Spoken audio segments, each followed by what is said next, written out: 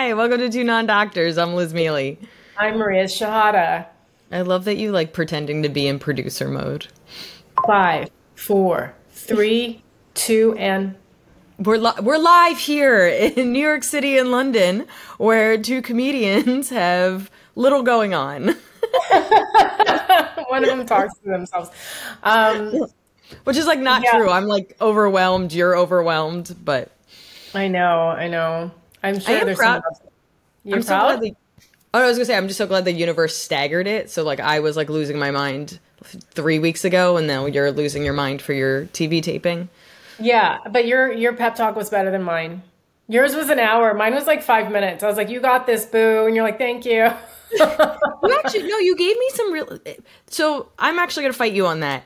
I just it takes me longer to get to the point. Like they think that's the only difference. Like I've always been a long that's my jokes are like that, my combos are like that, my advice is like that. Any cuz like there's I really like um Adam Grant. I've talked about his books like um mm. uh uh crap. I've read two of them Give so far. Take?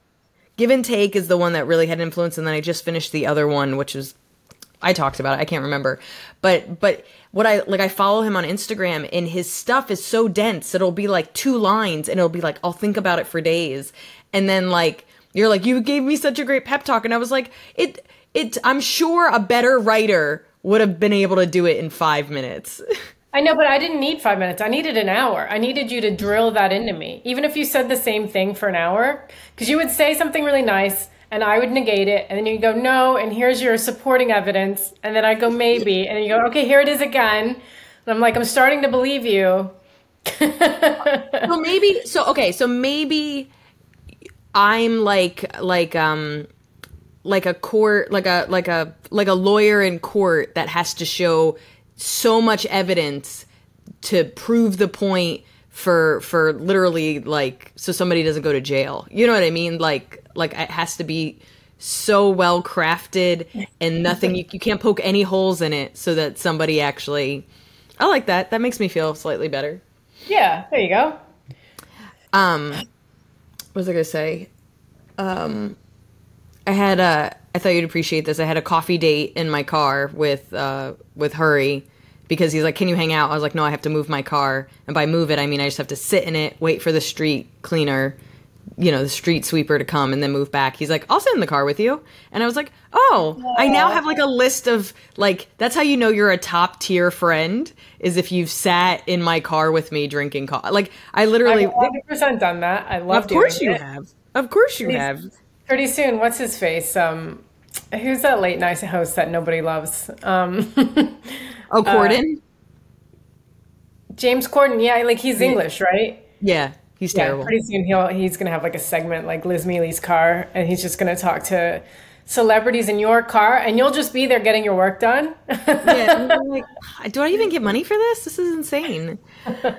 um, yeah. So I, I told her, he's like, this is a, this is fun. We can do this again. I was like, all right, comedians sitting in cars having coffee not no one not being recorded. I was like comedians sitting in cars not getting parking tickets. Yeah my mom because my mom's you know when she comes to visit i'm like hey i gotta sit in my car and she's like i'll sit with you and she thinks it's she thinks there should be a tv show about it. she thinks it's so funny that my entire block sits in their car the street sweeper comes we all move to the left the guy sweeps and then we all sit and then she goes well, you did it. You can leave now. I go, no, because if the cop comes at any point between 11 and 1230 and you're not in your car, they'll assume you didn't move it, even though you did, even though there's no debris under your car, and you will get a ticket. So you have done your civic duty and still get a ticket. So you have to, even though you did it, you moved, you still have to sit in your car for an hour and a half. I think I think it would make a good indie movie. That and um, when I was in LA and I had an electric car, I had to go and get um, I had to fill up, I had to recharge it before I brought it back to the rental place. And like, because you have to wait so long, because there was only one working electric plug. And, uh, and so I was just waiting with this other person for 40 minutes. And so it was like, oh, it was a good meet cute. Like if we had like, hit it off, you know. Yeah. Like, oh, so what do you what do you do? He's like, I'm a music producer. I'm like, that's cool. I'm a comedian. and like, and I was like, I'm gonna go to the Target Target and get a cup of coffee. Do you want coffee? And he's like, Oh yeah, I'd love a cup of coffee. You know. And then from the, we're stuck in one place. Good short Is film it- anyway. Yes, and it's very cheap because you're in one location. But uh, it is how I met. Like, I lived in my last building for almost seven years, and I only knew one neighbor. Actually, that's not true. I met a couple of old neighbors because I we had three steps. Like we were on the first floor, but there was still technically three steps, and I would hold like help an old lady get like her groceries up um, to go to the elevator. So I met a couple of old ladies, but truly didn't really know anybody in my in my building except for when my car died and street sweeping was coming, and I asked this guy to jump my car, and it turned out that he had like lived in that building since he was a child. He was like in his twenties or whatever. His name was Eddie. I still remember his name because I was like, I know somebody in my building. Um, but I've met half the people in my building because when I first moved there, I was like, "Oh, can you like double park your car?" And they're like, "No, because the other side is paid parking." And da da da da. So I like ended up not only meeting them and talking to them, but we now like we all have each other's phone numbers to be like, "Hey, did I get a ticket? Hey, did it, did the street guy come? Hey, you know, da da da da." Like like Yeah. there's even if all we talk about is our cars, we now have like and then we shit talk the street sweeper because sometimes he doesn't even give us time to move over. He just plows like through and doesn't do his job, and that drives me nuts. It's one thing to sit in your car all day. It's another thing to sit in your car all day for no reason because the guy didn't do his job. in this fucking street. Oh my god. So Yeah. that's my that's my boring Tuesday. Well, that's cool. Do you feel good about your taping? Um. I feel as ready as I'll ever be. Great. I feel like I just, I mean, the, what worries me most is flubbing and rushing and um, forgetting parts of my jokes. Because when the nerves come in hard and fast, they, I do like like blocks of memory will just disappear. But I have to remember. I just have to remember like I can just say it again. It's a taping. It's magic. Yeah. I can just say it again. And also, um, yeah, so I just remember I just need to like have fun with it and deliver it like well. And if I don't deliver it well, do it again, but have enough confidence to do it again. Because I remember with my Comedy Central Live, I, I, I screwed up a couple times, but I didn't have the confidence to be like, I'm going to do that again, you know? Yeah. So I just kind of like, I think I flub in that, in that like seven minute clip.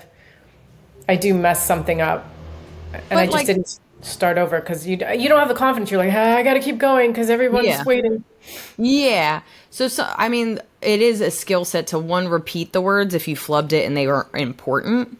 Um, but also like it's scary, but I've done it where I'm like, nope, that's wrong. Let me say it again. Like, you know what I mean? And like, I think because we're perform we're live performers and we've spent the whole time like you don't get a redo in a live performance, so you learn to work with whatever came out of your mouth or almost sacrifice the joke. You're like, ah, that one didn't work because I fucked it up. Doesn't matter.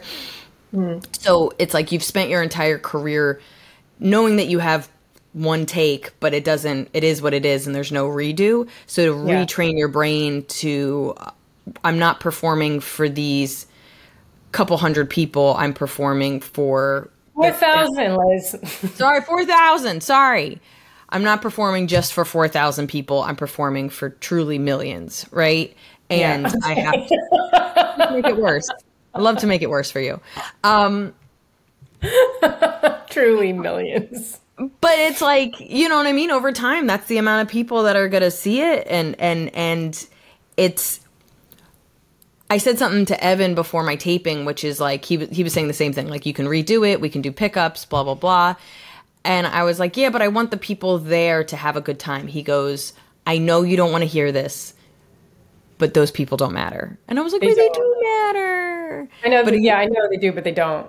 yeah, but you know, you you you it that again that's also hard because again, we're such live perform and those are the people giving us the reactions, but like I also doing this as many times as I have, it's like anything could be fixed in the edit. You just got to let it let it go. Yeah, yeah. And I'm I'm following somebody who's the exact opposite of me as a performer.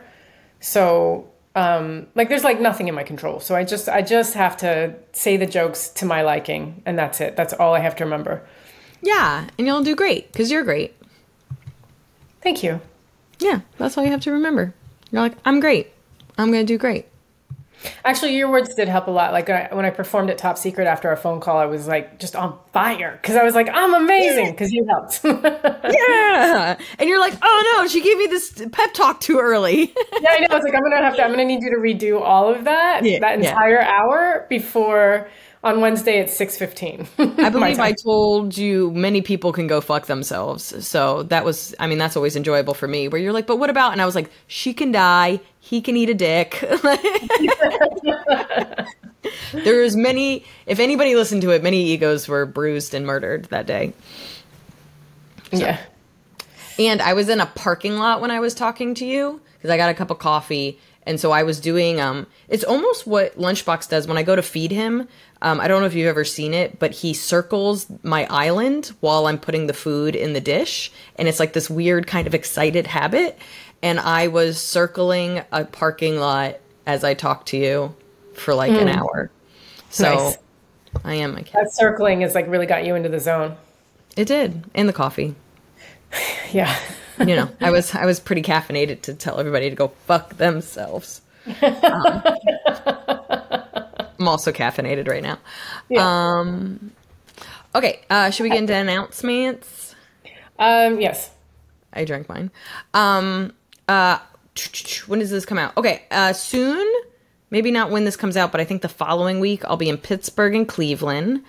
Um, then I have a show in I think where I have shows. I have a show in Westchester in November. Oh, I'm going to be in Bend, Oregon, and Portland, Oregon. Portland is selling uh, fast, so if you're going, get your ticks. Get Is your Andrew going to open for you again? No, I asked him. Um, he is somewhere. I don't. Aw. He's doing. Yeah, no, he usually opens. He's great. Andrew Slater's awesome. Um, and then we are together in Batavia, Illinois, and uh, Baltimore, Maryland in December. All that stuff is at lizmiele.com. And I think that's. I only got. go to B cities: Yes. Batavia, Baltimore, Berlin. yeah. No, that's really good. Okay, that's good. We have a. I don't know why it's B cities, but we've we've done something. Um, yeah, and then I, you know, I'm doing my reading at um, an Angel on November 10th, and uh, I just I got together with my director today, and like we're putting some tech in place, like like placeholder tech, but it's so much more fun with sound effects um, instead of just me talking for an hour. I love it. Um, yeah, that's it. Oh, write to us at two non-doctors at gmail.com. It's the number two non full word doctors and it's uh, at two non doctors on twitter and youtube and at two non drs on you on instagram Yeah. Um, googly googs. yeah f- yeah i mean you know we do this every week and i, I just went oh fuck Believe me, I've been there. Do you want me to go first? uh actually i um Yep. You can but i i did google something i saved myself there yeah I'm, I'm very proud of you. Um, you. I feel like the last couple of months, everything has been about my skin. Um, I think I fucked it up somehow because, you know, earlier in the summer, I was getting constant heat rash.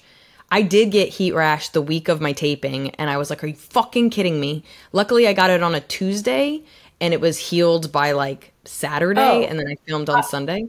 Sorry i haven't had a zit on my chest in 24 years and i'm just like I'm There's a, this is redder than it's not actually it's not even like bumpy it's just red. But i'm like Yeah. what is that? Why? You can, but you can put some, like, you know how you can put like what green stuff, and then you put concealer on it or whatever. yeah Whatever. yeah i mean makeup but it's just like of course your skin's like fuck you Did I tell you? I rem- so I mean these are fake nails that I'm going to take off soon from my taping, but um my nails were really like I they grew really long when I was like in college or whatever. And I got this commercial. I remember I booked a commercial and um I knew what I was going to wear for this commercial or whatever. It was like, you know, low budget commercial. And in the middle of the night, I scratched my myself and when I woke up I had this gash across my chest. And it was I did it to myself like with my thumbnail and I was like, "What?" Like truly like cut skin out of like like it looked like I got attacked, but I knew it was me. And so then I was like, "No," because I was going to have like a little V-neck and then I had to I had like a I don't think that commercial ever got released. It was like a like a turtleneck sweater because I was like looked like someone attacked me. Um, stupid, but but anyway, I've had all these issues with heat rash and it coming back, and then there were like Google's about that, but my skin has just never been the same, and so I it looks like semi fine, right? But it's really dry. Like like so this is where I was getting heat rash around my nose and like down the side of my cheek like right here. And even right now this is kind of itchy. It's not bad or red, but and it's not heat rash. It's just kind of like a weird rash. But it's also really fucking dry. So soft, soft, soft, and this feels like sandpaper. It's and I'm and like if I do put makeup on it, you can you can kind of see it's dry. It's driving me nuts. Um, so you know, I'm moisturizing. I'm trying not to do anything, but I, you know, I use a retinoid, a tretinoid, or whatever that stuff, and I wasn't using it for weeks to try to like heal my skin, and I thought it was fine. Put it on last night. It was awful. But the biggest thing is, I got all this free stuff, and I've heard all this stuff about n- n- nana nanaminicide nine.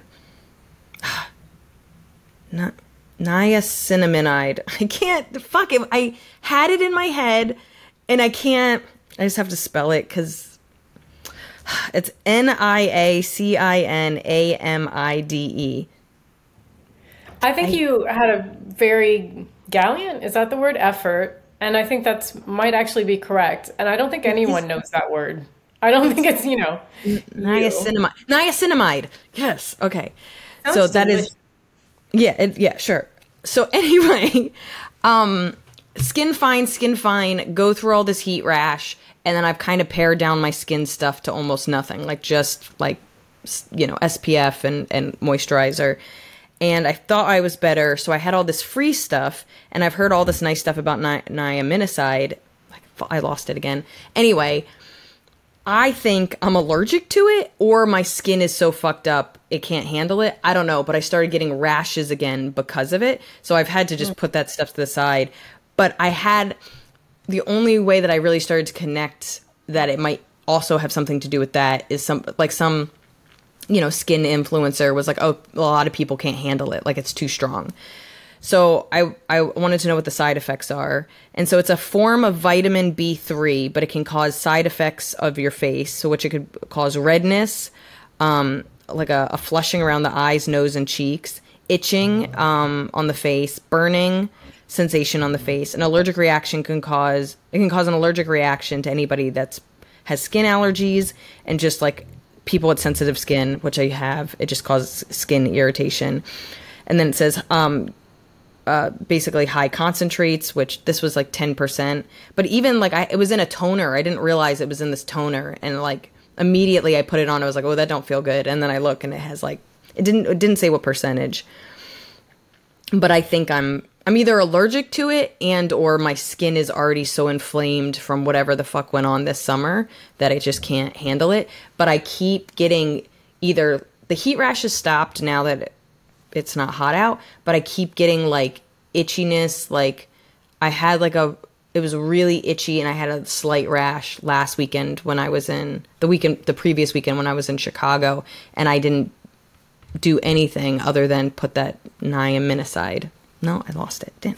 Mm. Um so it's just I don't know, my it's so weird because I feel very fortunate that I have a pimple right now, but I have had very little acne in the last year, even though my I feel like it was my diet that caused the acne and then I was eating better and then I fell off deeply. Just oh, deep. No. oh my god. Oh my god. Half of it's Evan's fault, the other half is just stress and being like, I love I love ice cream. But my skin has actually been pretty good and I've always I don't know if you're like this, but like most of my life from like a teenager up until like a couple of years ago i would be like if i just didn't break out every week i would be happy and i would remember the weeks where my skin looked good and i was like i am going to the same way that you would have a good hair day i'd be like i'm not going to let anything take bring me down because my skin looks so good and this is all i've ever wanted or my hair looks perfect and the world is going to know i have beautiful hair but and and my skin has looked really good and I've had, tried to appreciate it and now I'm I'm breaking out rashes and it's like I would I would love a pimple. Like I would trade a pimple for half my skin. I just I don't know what's going on with my body. Oh. um and I'm still behind behind the podcast sending you all this perimenopausal shit. so I'm just putting this, I'm putting this in the bag of it where I'm just like I, don't have to tell you I'm 65 and this is what my life is now. And I was like, fine, you're old. What? You're like, fine. so- I wish we could publish our text messages because it's just this, but you're angrier. I know. I know. There's something like about like there's something sweet about your face that I don't get as angry talking to you in person like or face to face. But over Yeah. text I'm just like I'm like, fine, you're fucking perimenopausal, you old bitch. I'm like, this doctor believes in me, this doctor believes in me, and you're like, I cannot, I cannot. So yeah, I'm going, I'm going through some skin change, which they actually say, you know, I mean, forget the perimenopause, just in general, because of our hormones always changing, just like every couple of years almost and and whatever that that things that worked before might not work you become more sensitive you know blah blah blah but i'm having i'm having a weird skin summer Sorry to hear it. Thank you. Thank you. I do blame Evan. Oh, yeah, I do too. What's your Googles? I I googled um, why does my right shoulder hurt after I eat. Okay. Um, I'm sorry.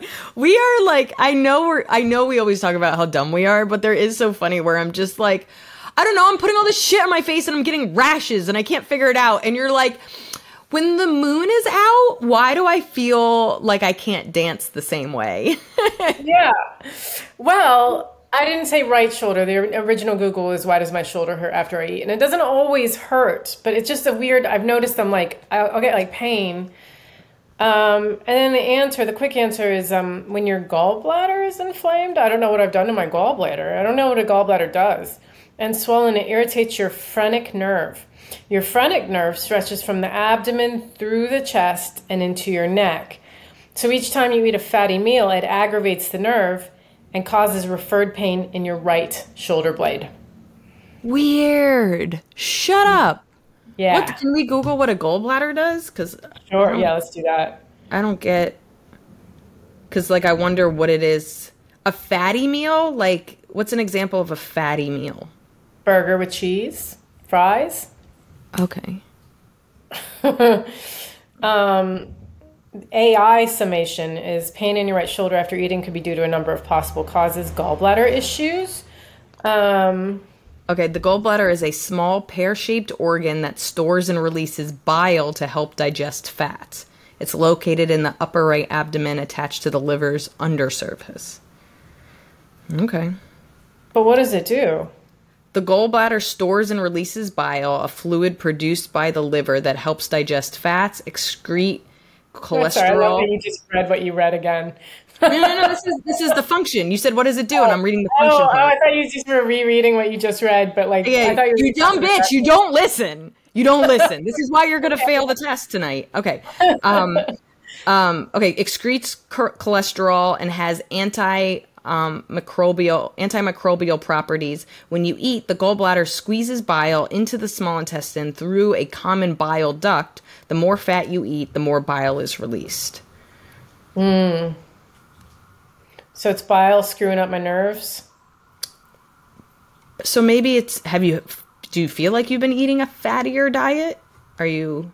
I mean, it was only like once recently, I, but I've had it before in the past, and so it's I, maybe I had something fatty. I don't remember. I I generally think I eat pretty healthy, but like you know, I'll get takeout and that'll have grease, and I can't control how much grease because the hmm. curry here is actually I think their sauce is oil, like just generally in the in Yeah. in the UK, like Indian food has a lot of oil in it. Um, so I maybe it's that. The gall the gallbladder is a sac located under your liver. I don't know. I just if I was the gallbladder, I was like, could we not call me a sac? Like it really like I do a lot of I do a lot of heavy lifting. Please don't call me a sac. I don't know how doctors are doctors. Stuff like that grosses me out. Bile is a pretty rough term as well. Bile? Because you picture just black syrup or something. Bile. Yeah. Yeah. What is bile? And then, um, Hold on. What is bile? There was also something else I wanted to bring up. Bile is a fluid produced by the liver, but what kind of fluid? Made up of water, electrolytes, bile salts, cholesterol, bilirubin, lecithin, amino acids, and more.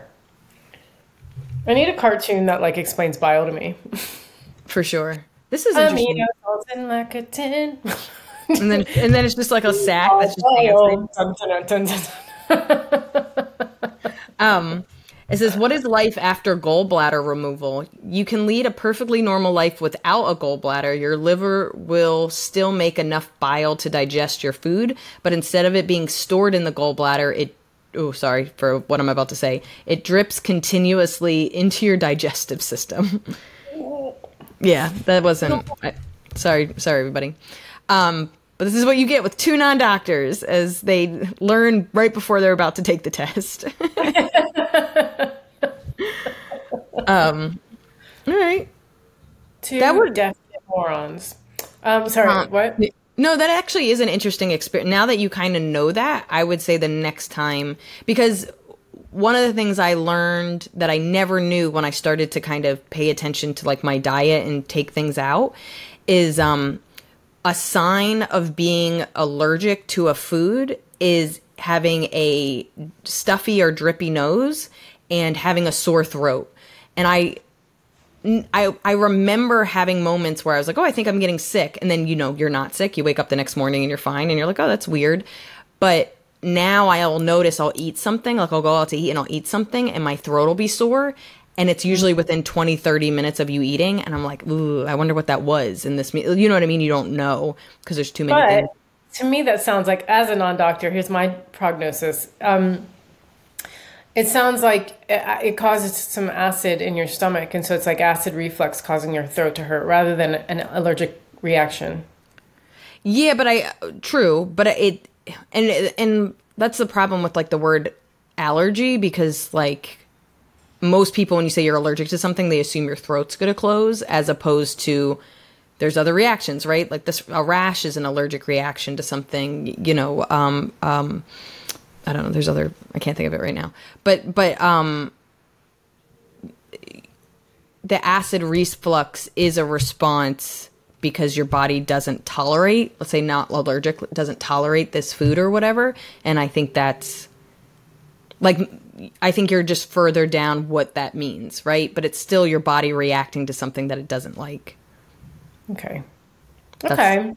That's my follow up. Your Any doctors out there want to comment, or like, would you not even know where to start? Do you not know how to help us?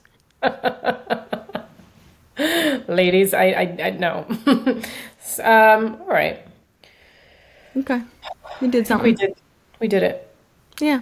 Um, thank you for listening. And Thank you all our patrons. We appreciate y'all. Um, you can tip us. you can. Um, we got a two dollar tip Hey, on, on on the YouTubes. That's Um, great. I didn't know when we get tips, so you're so good to be honest. Thank you. yeah, what if I was like, if it's seventy five dollars, you get two dollars. um, but uh, no, thank you to everybody that watches us on YouTube, everybody that listens, and everybody that supports us on Patreon. We appreciate you. Um, and after Maria tapes her TV thing, you'll have two less stressed non doctors. Yeah, and we'll be exactly the same, to be honest. Yeah, no, we'll still Um, forget to do our. Googles. Yeah, exactly. All right. See you guys next week. Bye.